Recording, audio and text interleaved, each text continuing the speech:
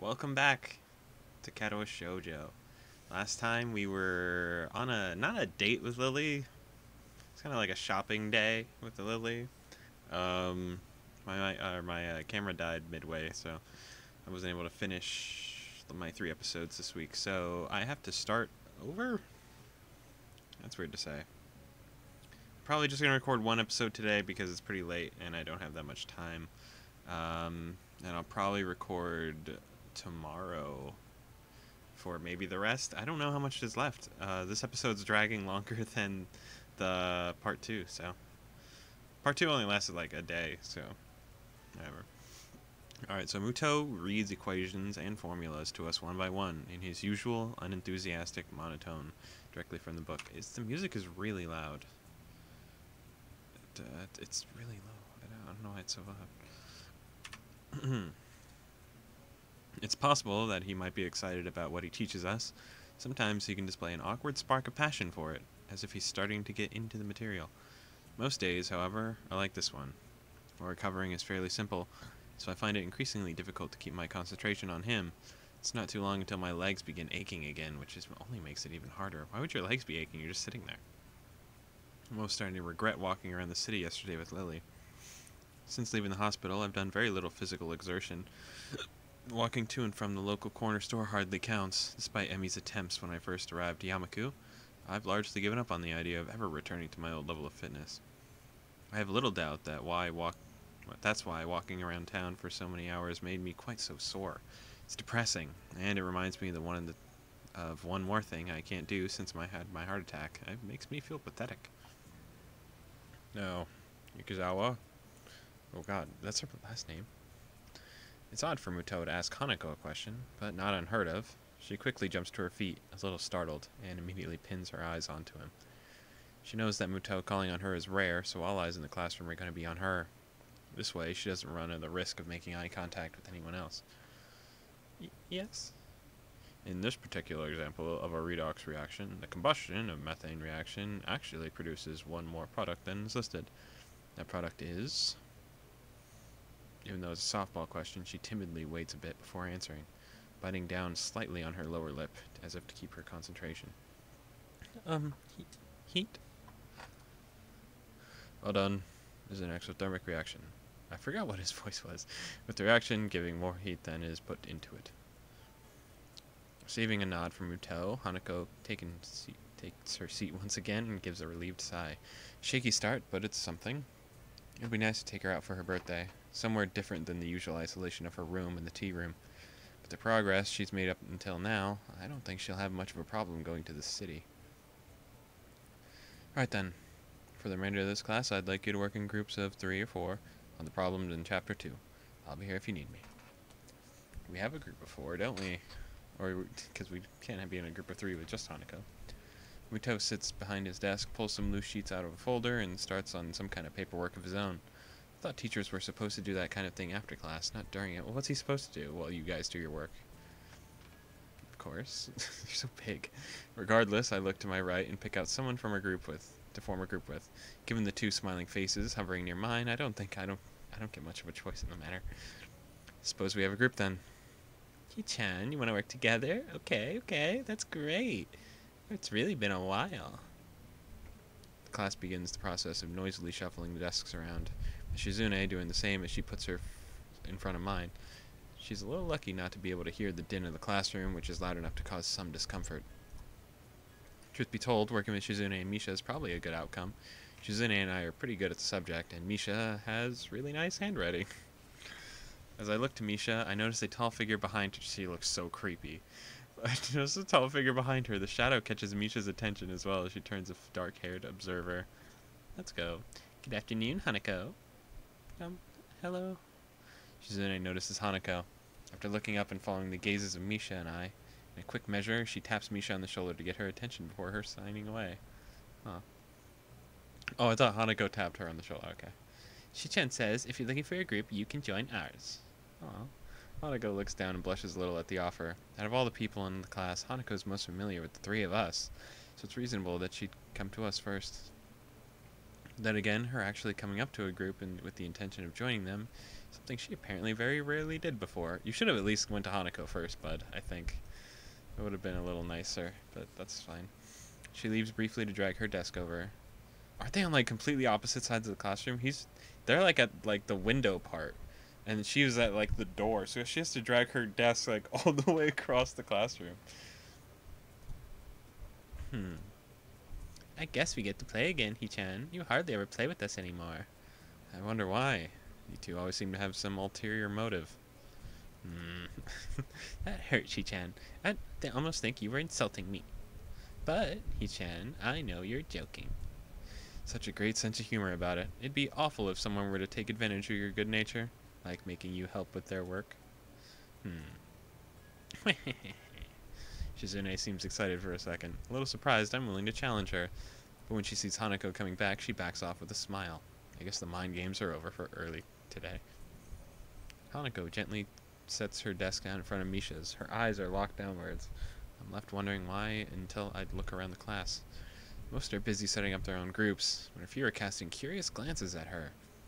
This range, it's hard to tell whether that's where their interest in her ends or if they're just talking about her as well. Yeah, she's usually in the back, right? So nobody really pays her that much mind. She's like the last one in the classroom anyway, too.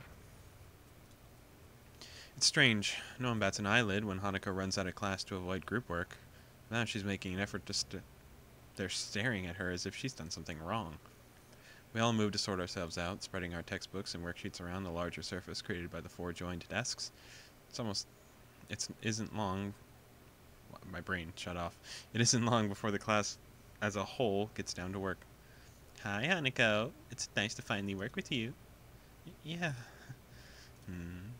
Are you the reason Hee-chan has been avoiding us lately? Shi-chan says it's a little rude, but if Hee-chan wanted to spend time with a cute girl, it's understandable. I, I don't th- think it's like that. Hanako starts to fidget, unused to this kind of attention. I think that an ordinary person would drop the conversation by now, but Misha is the antithesis of Hanako. Part of that includes being blind to ordinary social cues, while Hanako is overly sensitive to them. Because of that, Misha barrels ahead with the questions too quickly for me to get a chance to interject, a chance to interject, and guide the discussion somewhere more comfortable. Really? So he wasn't hanging out with you yesterday? N- no. Oh shit. I can feel my cover being blown already. Lily didn't want Hanako to. How did they know that we were gone yesterday? That's so random. I could feel my cover being blown already. Lily didn't want Hanako to know that we were out buying presents for her, let alone planning out her birthday party. It wouldn't be good for her to find out. Yeah, I was doing something else. You know how it is. Hmm. Really? I wonder what was so important for Hee-chan to blow us off like that. Well, did we ignore them for something? I don't remember them asking us. If it wasn't spend time with Hanako, then what could it be? It's really interesting. Now this is starting to feel like an interrogation. I'm surprised at how Misha's able to exert such a feeling of pressure without actually intending to. Were you with Lily? Oh god, she's so upset. Out of nowhere, Hanako manages to stumble out the answer. She may be dreadfully quiet and shy, but she's very intuitive. What makes you say that? Y- Yesterday, Lily said something similar. Hmm. God, she's so cute. Suspicious, Etan. I demand that you explain yourself. Hey, shouldn't we be doing the assignment? But it's so mysterious. Shizune's so excited over there. It's so mysterious. Even Hanako wants to know. I turn to look at Hanako. It's true. From her expression on her face, it's obvious she wants to know as well. I think we're past the point where I could weasel out of having to provide an explanation. I apologized to Lily in my mind. She really did want to keep it a secret, but now it doesn't seem possible anymore. Just say like you were with Kenji, and just be like, "Yeah, I don't know. I was hanging out with Kenji, and Kenji's not gonna fucking talk to these women." I feel a rush of conflicting emotions, so jumbled that I can't readily identify them, but they crash around in my head as I try to calm down and speak. All right, I tell, I'll tell you. I went into town with Lily, but it wasn't what you think. Lily and I were uh, for Hanako's birthday. We were cats out of the bag, but it looks like Hanako's taking it better than I thought she would. Brief silence around our little group as Shizune and Misha look at each other sheepishly. Sheepishly, I could tell that they didn't expect their game to turn out like this. Misha looks up to Hanako in order to apologize, then pauses. Hanako is starting staring at the middle of the desk and barely moving. A maudlin expression on her face. I guess I was wrong about her taking it well. Hanako, I'm sorry. There's a few seconds pause, but Hanako lifts and shakes her head. It, it's okay. Her expression looks odd, like she's very tired. That doesn't seem natural, but it's nothing alarming. Nobody really wants to continue the current conversation, so we open our textbooks and begin the group work. This is pretty dull. All the equations we're, we're supposed to work out as a group will take a little while. Most of it's going to be boringly mechanical. Whoa. It also doesn't help that it didn't go as bad as it could have. It has left an awkward atmosphere around us. Still, we managed. Shizune's face betrays that she has the same expectations for our work as I do. What? And the two of us begin to write our group's results. Misha, on the other hand, is scrunching up her lips, is very visibly trying to make out heads or tails of what we're doing. Hanako is looking on quietly, absorbing what I what we write and what I say. She usually has the same expression when the teacher speaks. It's a shame her attendance is so unreliable. But the way she takes in information, I think she'd do quite well in class. She actually followed the lessons regularly. I wonder if this is why Shizune seems so hard on her. Hey, Hanako, do you understand this? Misha looks to Hanako, but I suspect her hope is more to find a comrade in ignorance rather than genuine help. I, um, not really, I guess. I'm surprised by how tense she is answering, but she settles back down. She breathes out. The way her upper body and lower head reminds me of a deflating balloon. You okay? I could go over this a bit if you want. Hanako shakes her head slightly, but then again, I don't think she needs the extra explanation despite what she said. Misha quickly interjects, entirely oblivious, and I end up slowly going through how we ended up at one of our results step by step. Times like this remind me that this kind of work may not be mechanical for everyone, rather feels that way due to me and my grasp of the subject. It's a satisfying feeling. As Misha brings her balled fist into an open hand realization, I discover another nice feeling. My explanation got through to her. She manages to work out the next equation by herself with a minimum of guidance. Throughout all this, Hanako is unusually responsive. She's normally very quiet, but no one can see still see her eyes roll roving periodically over some of the landscape of the classroom in front of her, or anxiously moving her hands in some sort of way, or shifting her shoulders periodically. What? right now, these small movements I've gotten used to seeing are all missing. Someone not moving at all is definitely weird. Even Misha can tell there's something wrong. Hanako, are you sure you're okay? Y yes? are you sure? I'm fine. A little more strongly this time, but she turns away as she says it. It only makes me doubt her answer. Yet, at the same time, I can tell she doesn't want to talk about it any further. Having already had one awkward conversation today, I'm not still fully over, I don't want to pursue the matter too much either. We settle back into our routine, debating over our answers, whether a doubt comes up. But as time goes on, I notice that Hanako isn't talking at all. It's frustrating. She's made so much progress. It Makes me a little angry at Shizune and Misha for undoing the surprise Lily had wanted to keep a secret so much. I know I'm at fault too. Maybe I could have kept it under wraps somehow. Just say you were hanging out with Kenji. That's literally all you had to say. Shizune has noticed Hanako's silence as well, somehow, and is getting angsty. I could see it on her face. It's strange that even though she's deaf, Shizune has perceived Hanako's unusual quietness sooner than Misha. hmm. Hanako, you're being too quiet. You have to contribute too. Someday we might work on a bigger project, like one that's so big it's worth celebrating afterwards, like with ice cream or cake. If you act like this, we won't take you along. I can tell that they're trying to tease her to bring her out of her shell, but I don't think that's the kind of approach that will work on Hanako. It will make her feel worse. Guys, don't tease her like that. Hmm. Hichan, it's all in good fun. Hichan says she teases everyone anyway. They do back off, though, with Misha moving away from the issue and by me asking a question again, on seeing how difficult the problem is she is working on is. I don't know whether it was a skillful dodge or a mere coincidence. It takes way more of time than necessary, because Shizune keeps disagreeing with me while I'm trying to explain it to Misha, and Misha is quickened to believe her over me. So quick, in fact, that she forgets to translate what Misha's saying. Hey, the clock is kind of ticking down. We should speed it up a little. Hichan, you sound like a little like Shichan there. Just because I looked at my watch? Jeez, is that really all it takes? Time management, and suddenly I'm the student council president? Whoa, he is like really. Oh god, why is she crying? I feel so bad. I look at Hanako's desk to see how she's doing and freeze. Her papers are covered in equations, but Hanako's only halfway there. Seems like she hasn't written anything the past 20 minutes. She's crying. I realize that, I want to kick myself for how dumb I've been. I should have known that someone so fragile as Hanako wasn't just going to brush off what happened so easily. But I've been too eager to move on from an awkward situation to notice. She has been slowly shutting down for at least half until the last half hour, and I had no clue. Her pen is still in her hand, but she doesn't open slowly spin it around like she usually does.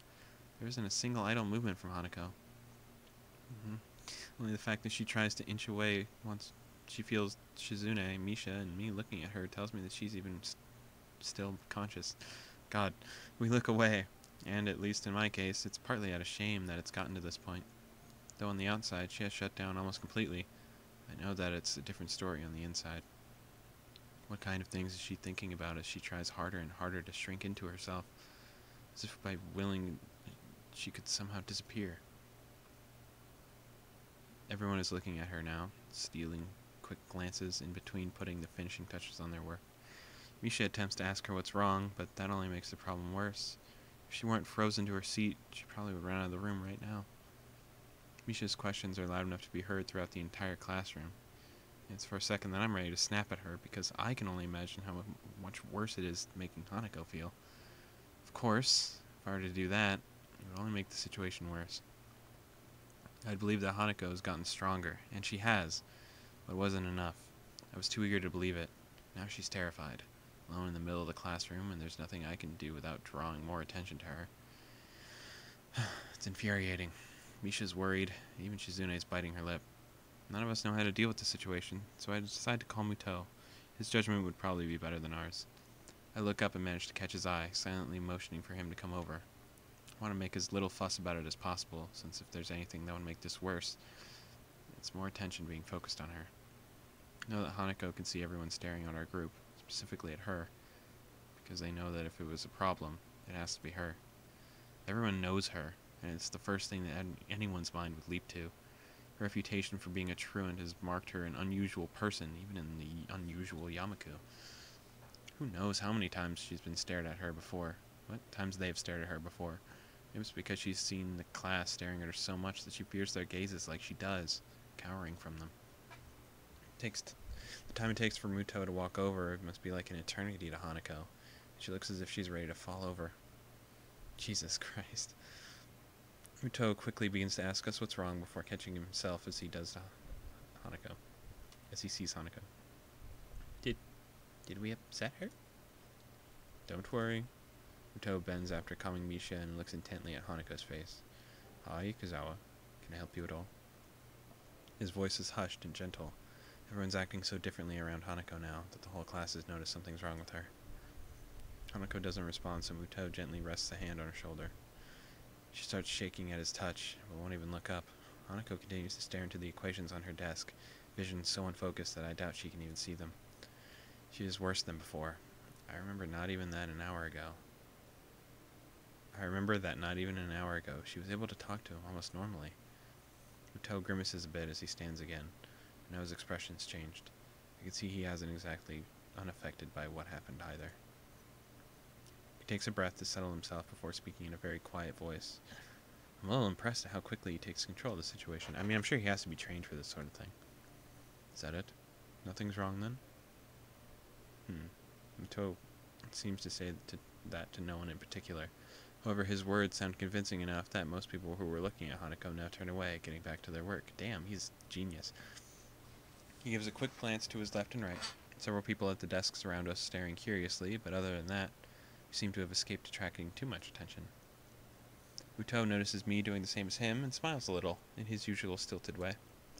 I think, for Ikezawa's sake, that it would be good to quickly take her somewhere away from others.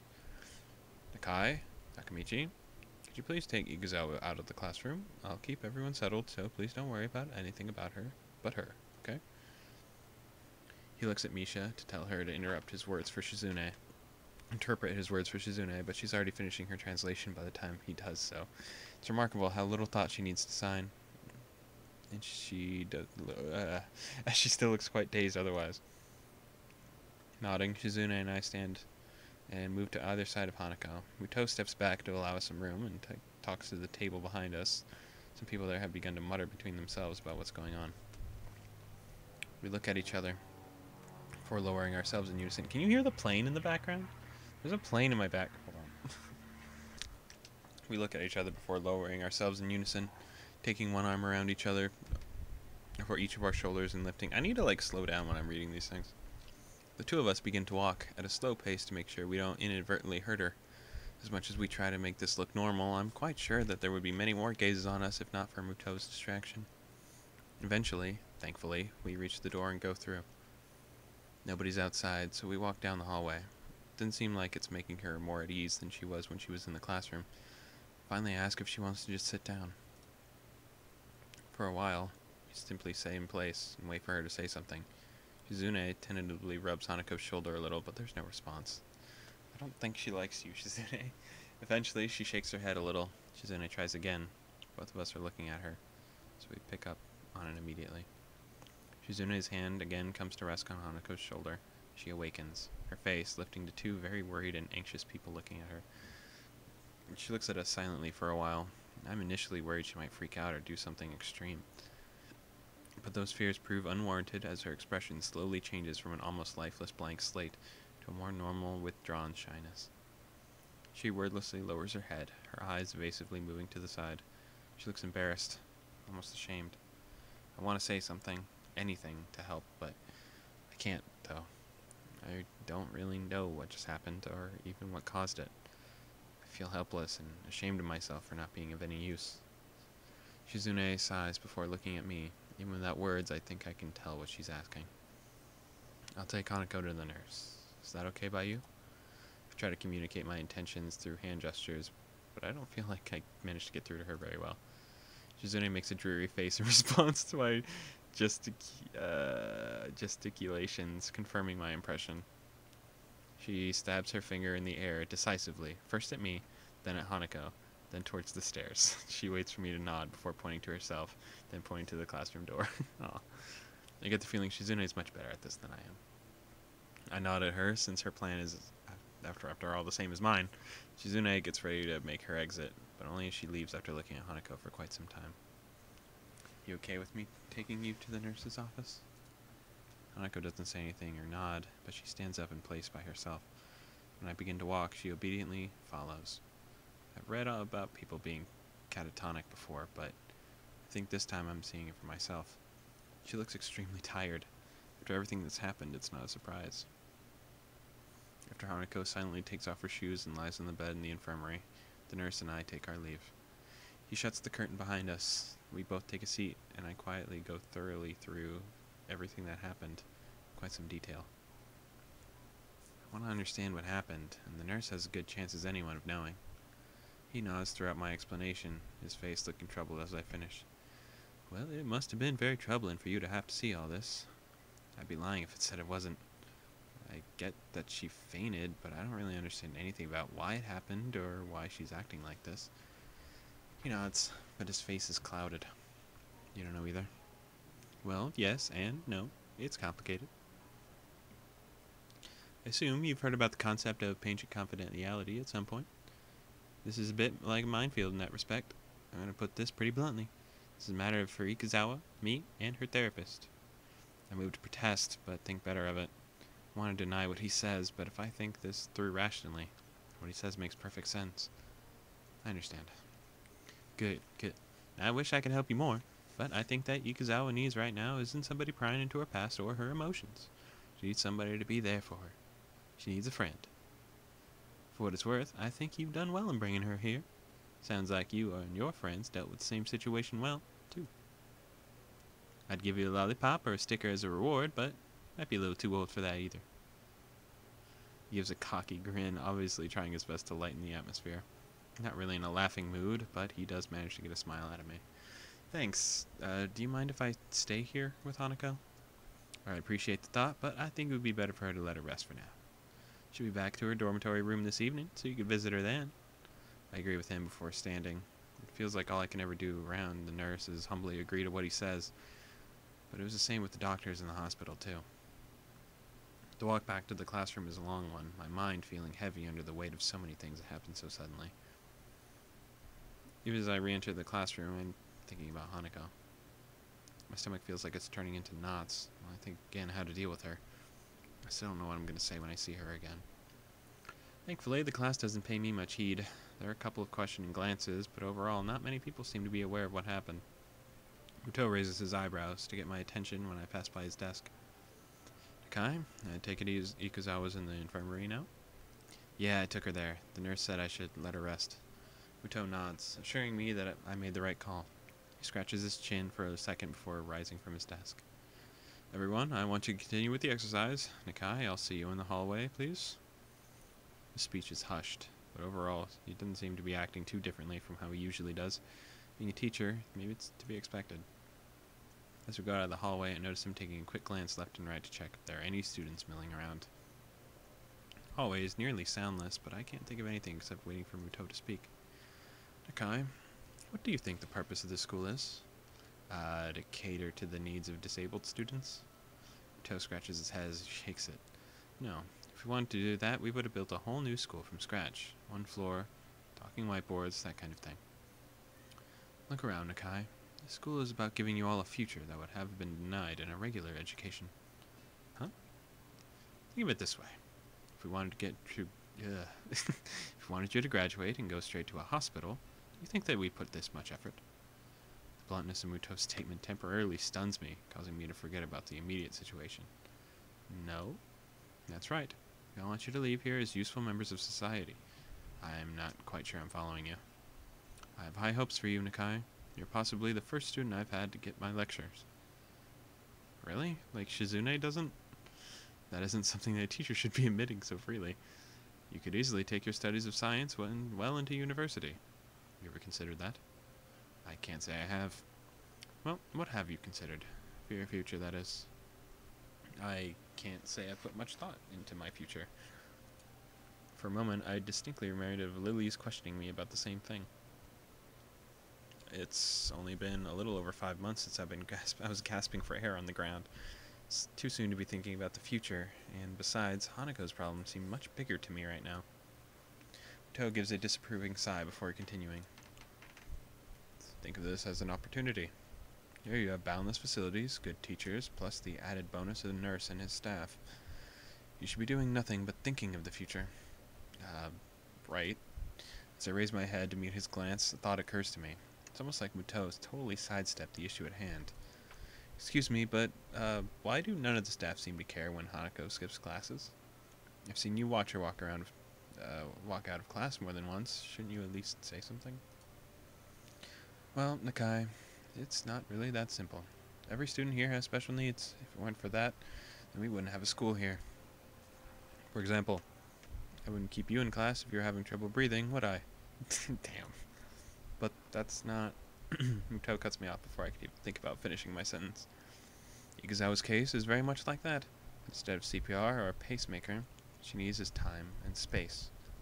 The facility was made aware of this from the day she arrived here.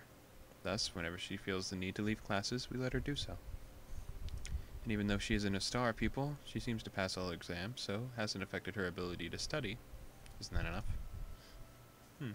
I open my mouth and protest, but I can't find any fault in his argument. While her condition does seem first seem to be wholly psychological, its worst effects have been on her psyche. Still puts me off, though. Isn't he just passing on the responsibility for her problem? Surely she can't go like this for her entire life. I understand that you might not be used to this kind of thing yet. It's been a big change for you. That said, it's less than a year until graduation now. Maybe you won't have to get used to the, this school. If you keep your head down, I'm sure you'll do well enough in your exams. I numbly nod, more to simply acknowledge the fact that I'm listening than out of agreement. I felt like I was getting used to the school, but feels like it's just getting thrown back in my face. But what about Hanako? I believe, well, I hope, that she'll perform well enough to do what she wants to do. What that is, I don't know. Not all students leave school with the idea of what they want to do, unfortunately. He takes care to emphasize his last word as if it wasn't quite clear enough already. Gives me a moment to mull his words over. Today's been a troublesome day for you. I doubt that you'd want to concentrate too much anyway after that's what's happened. So I'll allow you to take the rest of the day off. Your grades have been good in this class so far, which makes me think that you won't have any trouble catching up on what we've been doing. He gives a small smile along with his praise, as if to make up for his seriousness of his lecturing before now. Go collect your things. See you tomorrow. Right. Thank you. Muto's roundabout speech has left thoughts scattered. I'm still not any closer to working out what I can do to help Hanako, if anything, and my mind is all the more confused after what Muto's said. I'm also still bothered by the fact that Hanako helped at least as much by Shizune, her enemy by proxy, as by myself. Hmm. I don't know whether that is just male bra- bravado or genuine concern. it's a little bit of both, I'm sure. While I collect Hanako's and my things from the class, I continue to try and sort out my feelings. I want to say that I understand her, and that I'm there for her. While I might have been able to say that just yesterday, I can't say it now. I wish I could. Hmm. Did I take my things to the nurse, or did I keep her things? I hope we didn't keep her things. That'd be really weird. How are we all doing out there? 30 minutes in? Or so? I lay in my bed trying to collect my thoughts. Okay, it's one of these. After Hanako's panic attack, I found myself fundamentally reassessing the relationship we share, what I know about her. I had a hard enough time dealing four months in the hospital. One look at her scars tells me that she was in for a lot longer than I was. Be that as it may, I know next to nothing about her past. She has told me about the house fire, but only in a most basic way. What of her family? I still haven't asked Lily about them. There hasn't been a good opportunity to bring it up. I don't know where she grew up, nor what her old school was like, nor of her past friends, her wishes and ambitions, not even her tastes in music, food, or movies. All the little things I knew about all my old friends. It's what I've been doing for all this time I've been with her and Lily. Good question.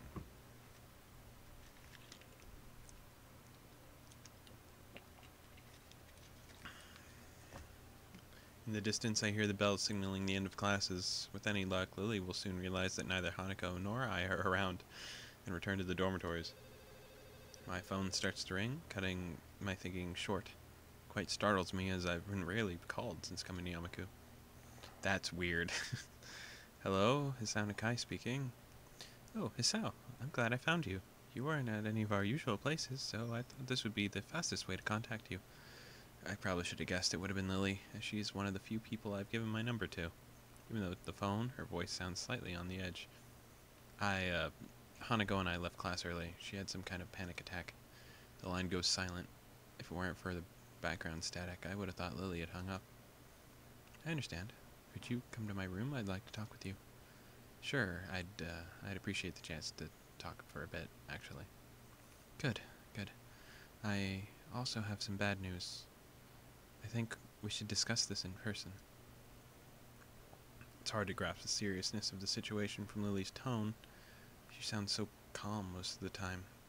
That could be a good or a bad thing, depending on how you look at it. Alright, I'll be right there. I collect Hanako's school things from my desk and head straight for Lily's room.